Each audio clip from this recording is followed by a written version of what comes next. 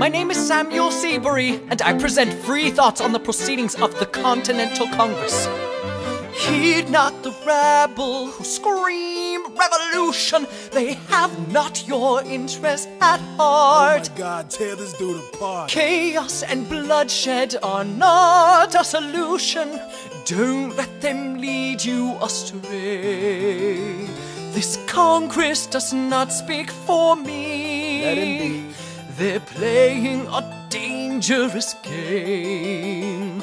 I pray the King shows you his mercy. For shame, for shame.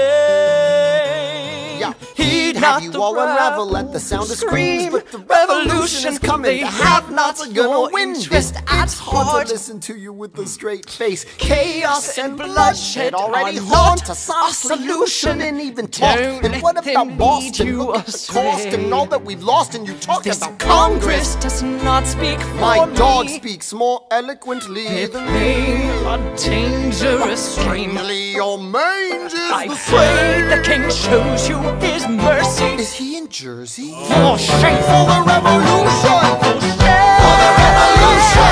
Plead Repeat yourself again, I'm gonna scream. Scream. Honestly, look at me, please don't read. not your interest. Don't modulate the key, then not debate with me. Why should a tiny island across the sea regulate the price of tea? Alexander, please. Burr, I'd rather be divisive than indecisive. Drop the niceties. A